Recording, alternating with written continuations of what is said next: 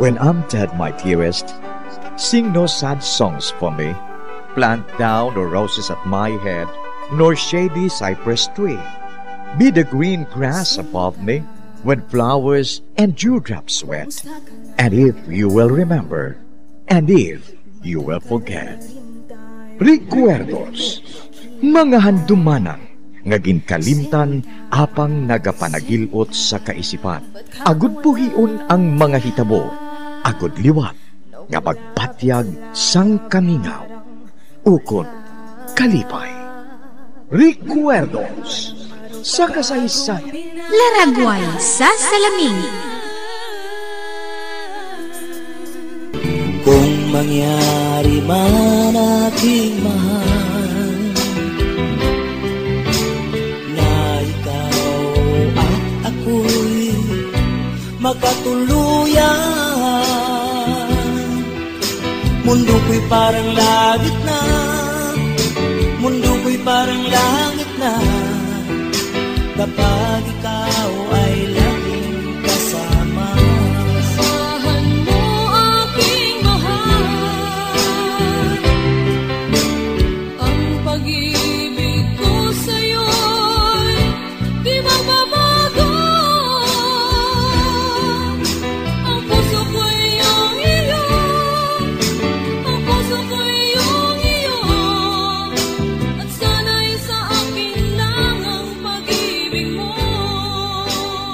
Kagkaron sa kasugpon sang aton sugilanon diri sa Recuerdos sa kasaysayan.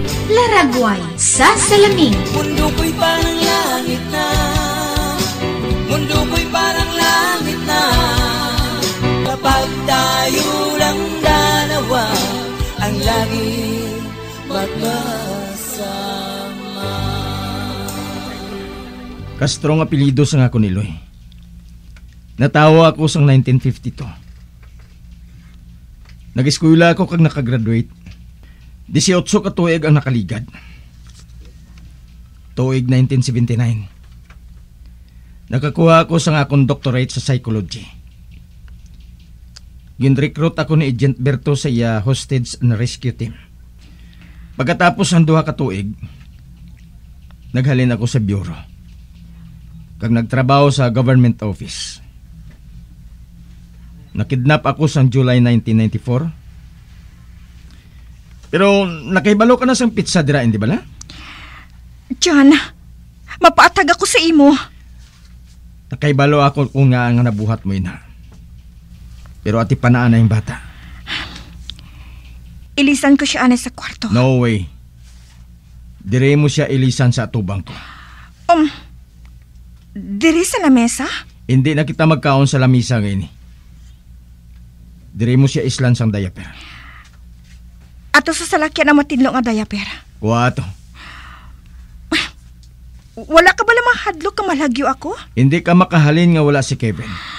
Um, Lakat na. Kuha ng diaper. Kay kung hindi, mapabilin nga wala sang diaper si Kevin. Kagulay na sang kaso sa iya. Kagula man ina sang kaso sa akon.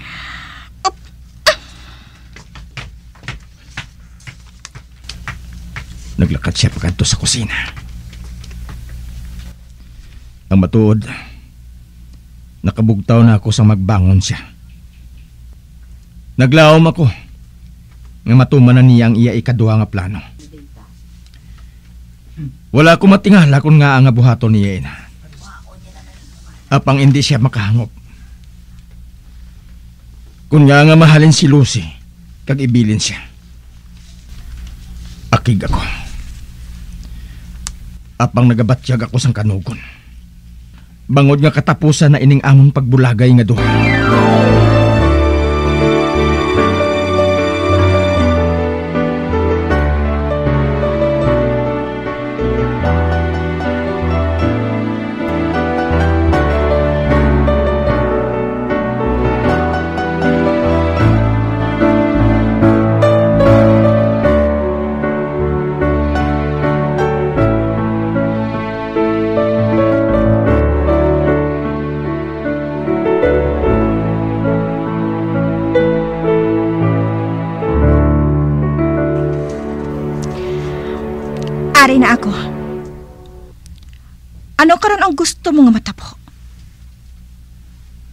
I-confine bala ako sa isa ka kwarto?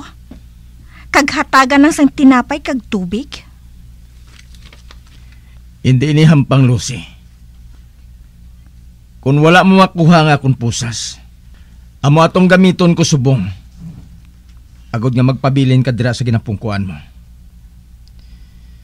Ginkuha mo nga akong pusas, dungan sang pagkuha mo sa nga akong armas.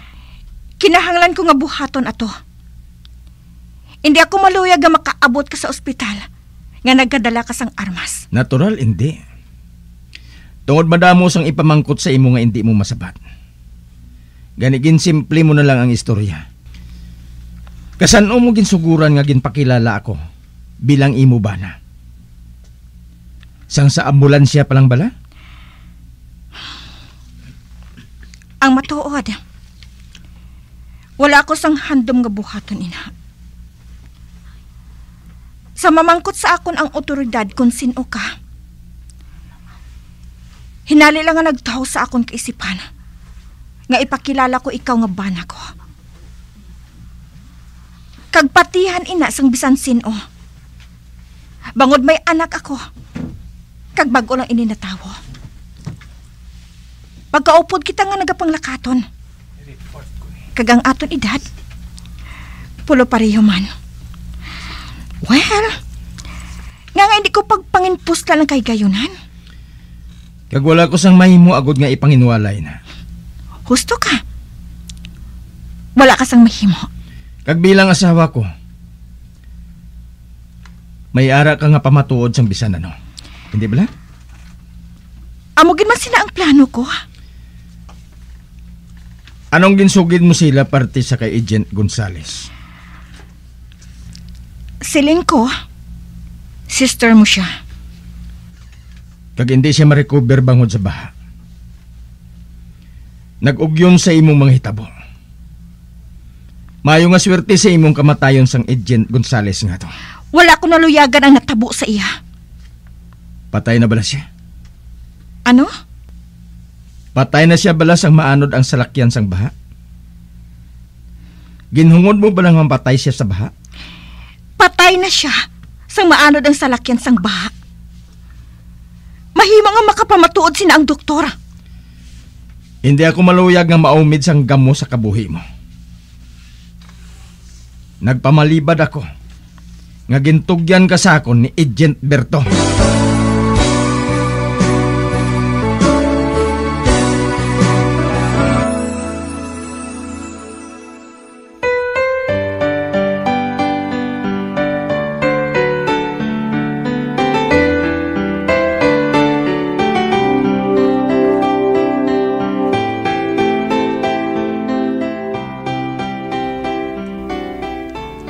Nga ginumid mo ako, Lucy. Wala ako sang mahimo. Naghandom ako nga maghalin sa ospital. Apang nadakpan mo ako, sang buot ako nga magalin. Nagpamili ka nga magupod. Madamo ka sang tsansa nga mahimo agud nga makapalagyo ka sa akon. Halimbawa, kung magkadto ako sa men's room, nga nga wala ka magpadayon sa paglakat. Bangod samtang nagadugay. Nakahibala ako nga makapaayo kung mag-upod ka sa amo ni Kevin.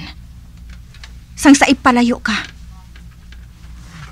Bisan matuod nga nagka-crutches ka, makahatag ka sang protection sa amo ni Kevin. Sa ano ako makahatag sang protection? Wala ako nagapalapit sa iya. Anay ka? Karon ko lang natalupang dan ina. Nga nga wala mo maluyagi si Kevin. Hindi lang kay si Kevin, kundi sa tanan nga mga bata. Nga ah, Hindi na inamalahalon pa. Ano galingalan sang lugar ngayon? San Carlos. Mhm. Ako kagang akon lola. Masami nga nagkakadto diri. Wala na sang iban. Gani, gin pa kamaayo ko.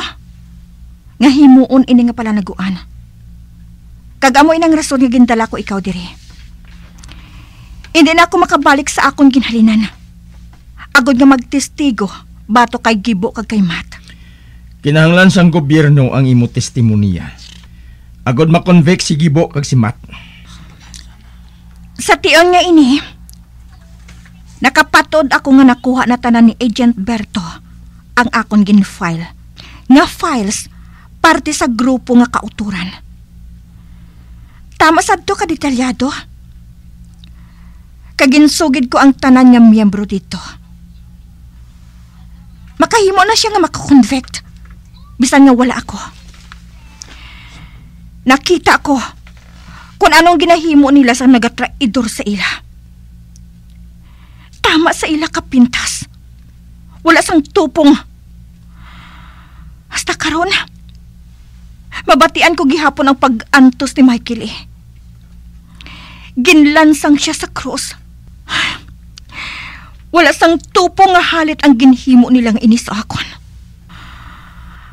Bangod sa ila, nangin isa ako ka fugitive. Hindi na ako mangin abogado tubtubsan o. Nangin maayo ako nga abogado.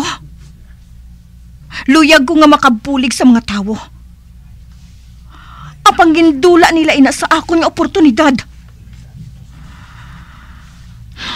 Kag subong, wala ako sang handom.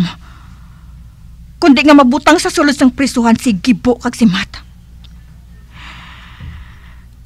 Hindi ko na mabuhat ang akong katungdanan bilang maayo nga banwahanon. Apang, hindi man ako maluyag nga mapatay sa among nga kausa.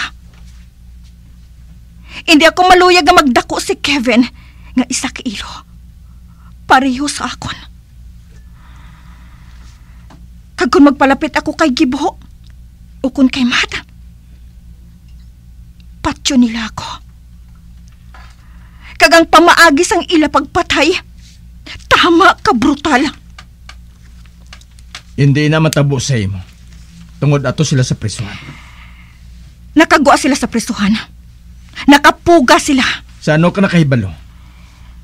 Ginsugiran ako ni Ricky So. Sang magpanawag ako sa iya.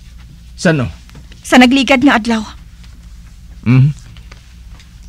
Kuna mo. Amo gali ng rason nga daw sa hindi ka mapahamtang sa magbalik ka halin sa banwa? Wala ako makahibalo sang iba niya detalye. Kaya gintakop niya ang telepono eh. Basta, amo rin ang ginsugid niya sa akon. Nakapuga sila sa prisuhan. Daw ano kita kalayo pakadto sa inyo balay?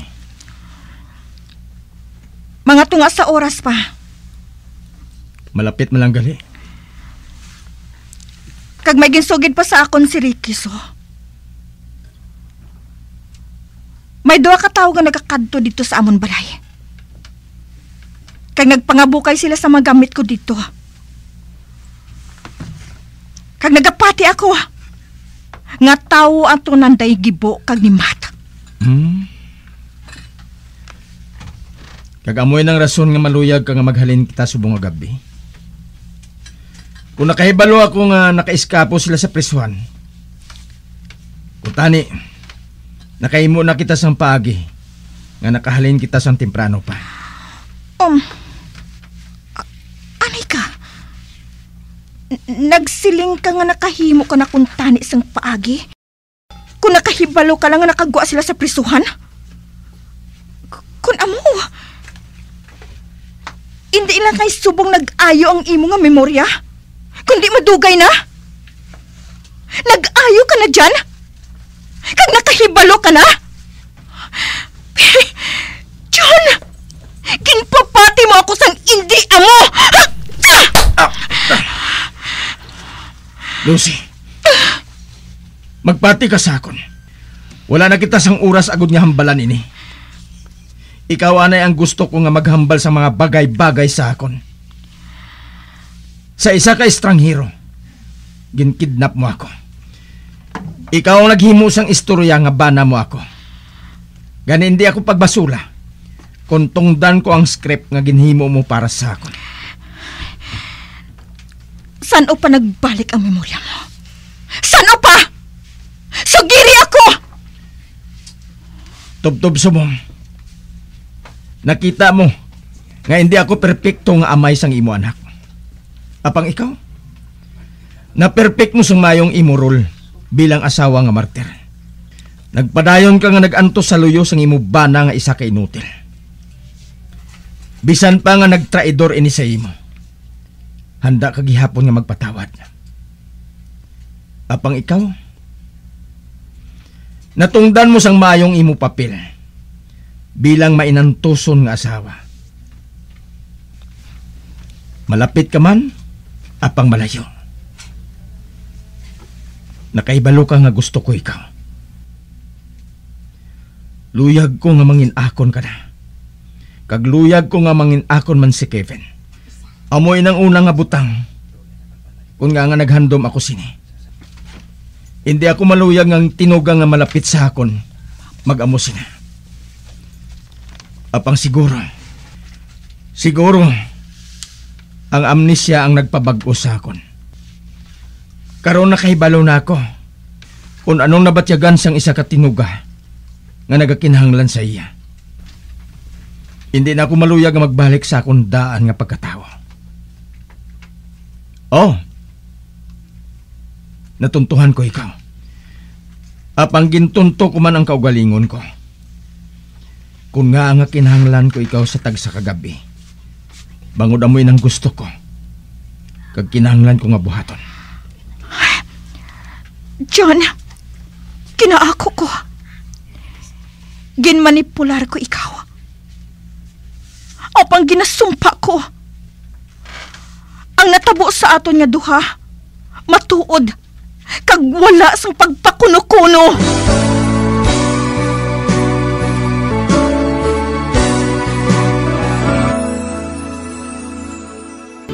Kung mangyari man aking mahal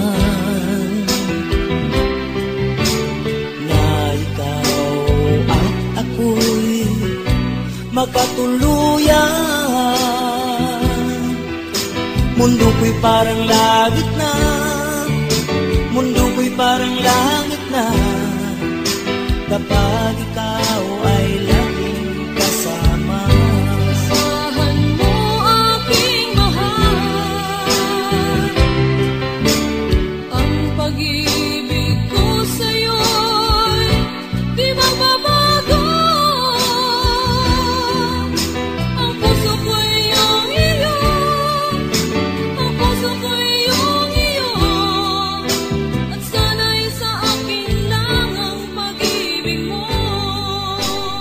Mga abyan, sundan ninyo sa pagpamati ang kasugpon sang aton sugilanon diri sa Recuerdos sa kasaysayan. Laragway sa salamin. Ginsulat kag sa direksyon ni Elizabeth Batidwan Navarro.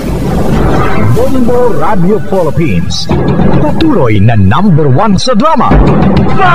Sa Radio Bombo!